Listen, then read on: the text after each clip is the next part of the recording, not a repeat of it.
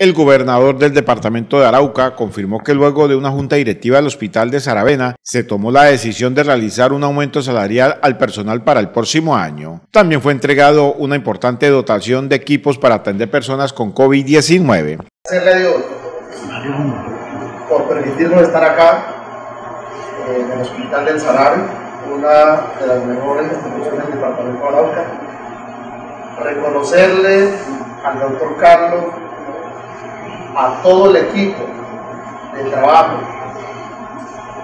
desde la persona que se encarga de la vigilancia hasta la gerencia, reconocer el trabajo que han venido desarrollando con el Hospital del Salar. En aras de ese reconocimiento y agradecimiento por el sentido de pertenencia que tienen con la entidad, salimos de junta directiva ahorita y se tomó la decisión de hacer un incremento salarial eh, importante para el próximo año. Esto por reconocerle ese trabajo que desarrollan, invitarlos a que sigan trabajando día a día.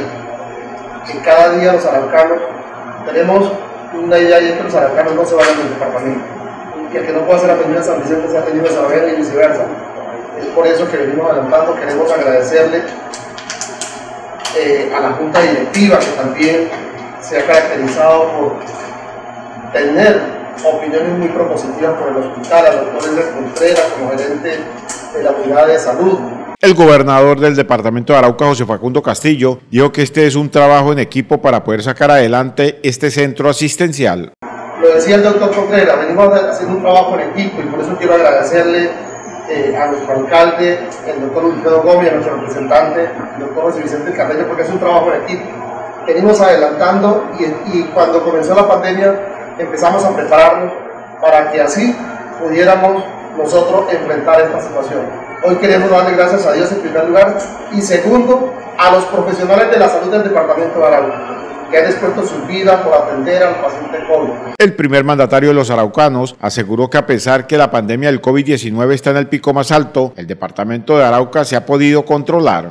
Aquí en Arauca, afortunadamente, Hoy mantenemos controlada. Vemos a, un casanario, un departamento vecino que se encuentra en alerta roja. Aquí desafortunadamente el buen trabajo que ha hecho el doctor de Contreras con la unidad de salud y en el tema del despliegue para el efecto epidemiológico del paciente positivo nos ha permitido tenerlo calmado. Esperamos seguir bajando, esperamos seguir trabajando por toda la salud del departamento de Arauca. También entregó al Hospital del Sarare un equipo portátil de rayos X y varias camas para atender pacientes infectados por el coronavirus. Hoy estamos entregando este equipo de rayos X portátil, digitalizado y 20 camas al Hospital del Sarare. La semana pasada se le hicieron al Hospital del San Vicente y vamos a seguir, doctor Carlos, vamos a seguir trabajando por la salud de los araucanos. Cuando hablo araucanos hablo de todo el departamento decirle al doctor Carreño como representante de la Cámara que como la idea es seguirnos fortaleciendo, acabamos de recibir eh, una información en junta directiva, una necesidad que tiene el Hospital del Sarare en cuanto a equipos de tecnología. El Hospital del Sarare tiene unos equipos tecnológicos que por su buen cuidado, pero ya llevan muchos años, y vamos a, organizar un proyecto para presentarlo a nivel nacional a ver cómo podemos solicitar sé que con sus buenos oficios podemos hacer un buen trabajo para que así podamos nosotros seguir creciendo y seguir unidos para que le prestemos una muy buena atención a nuestros pacientes. El representante de la Cámara, José Vicente Carreño, acompañó al gobernador de Arauca a esta gira por los municipios de esta región del país.